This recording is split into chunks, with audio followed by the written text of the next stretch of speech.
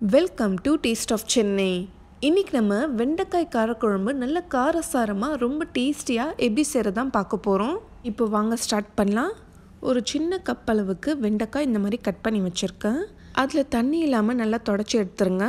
இப்போது ஒரு பேனில் ரெண்டு டீஸ்பூன் ஆயில் ஊற்றிக்கோங்க ஆயில் நல்லா சூடானதும் இப்போ வெண்டைக்காய் அதில் சேர்த்து கொஞ்சம் நேரத்துக்கு நல்லா ஃப்ரை பண்ணிக்கலாம்.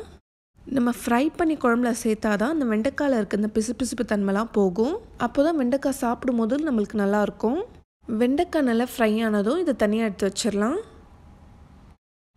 இப்போ ஒரு மூணு டேபிள் ஸ்பூன் அளவுக்கு ஆயில் ஊற்றிக்கோங்க கடலை எண்ணெய் இல்லைன்னா நல்லெண்ணெய் சேர்த்து செஞ்சிங்கன்னா ரொம்ப டேஸ்ட்டாக இருக்கும். எண்ணெய் நல்லா சூடானதும் ஒரு ஹாஃப் டீஸ்பூன் அளவுக்கு கடுகு உளுத்தம் பருப்பு ஒரு ஹாஃப் டீஸ்பூன் அளவுக்கு வெந்தயம் உங்ககிட்ட வடகம் இருந்தால் ஒரு டீஸ்பூன் சேர்த்துக்கோங்க. இது டோட்டலி ஆப்ஷனல் தான். இல்லைனா வேணாம். ஒரு ஹாஃப் கப் அளவுக்கு சின்ன வெங்காயம் சேர்க்குறேன்.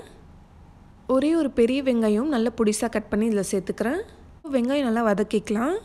இப்போது நாலு பல் பூண்டும் கொஞ்சமாக கருவேப்பிலை சேர்த்துக்கிறேன். ஒரே ஒரு தக்காளி கட் பண்ணி சேர்த்துக்கிறேன். தக்காளி நல்லா சாஃப்ட் ஆகிற வரைக்கும் இதை நல்லா வதக்கிக்கலாம்.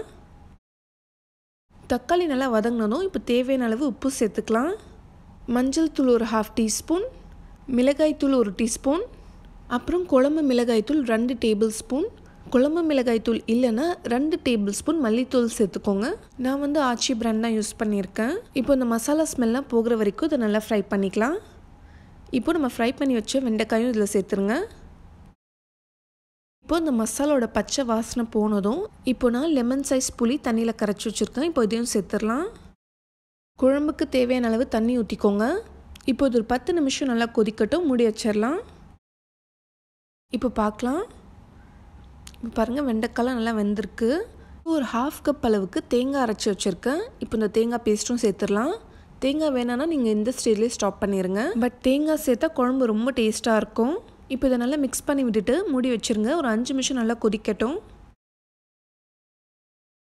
இப்போ பார்க்கலாம். இப்போ ஃபைனலாக கொஞ்சமாக கொத்தமல்லி தயார் சேர்த்துக்கோங்க.